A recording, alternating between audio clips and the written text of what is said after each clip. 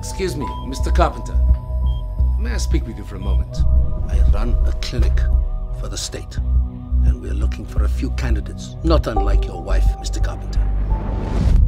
Either she dies in that bed, and you pay $10,000 a day for the privilege of watching her choke and suffocate in her own blood and vomit, or you let me save her.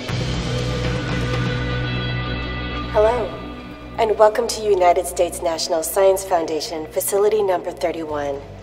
We are very glad you have chosen to be a part of this study, and for the next three to five days, you will be quarantined to this one facility.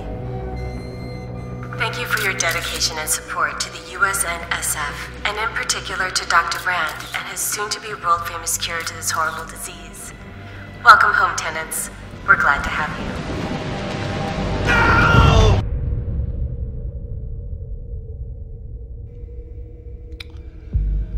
I know I can't talk you out of this, Abraham.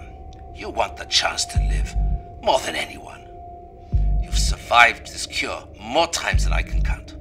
So can others. Survival doesn't even resemble living. Our study feeds on fear, the way the cure feeds on the disease. We are taking things into our own hands. We are not afraid.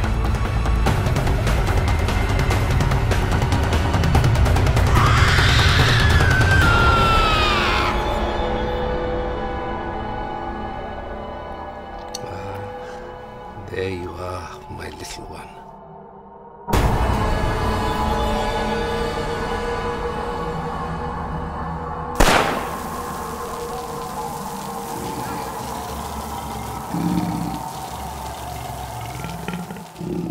Cell Count in theater soon.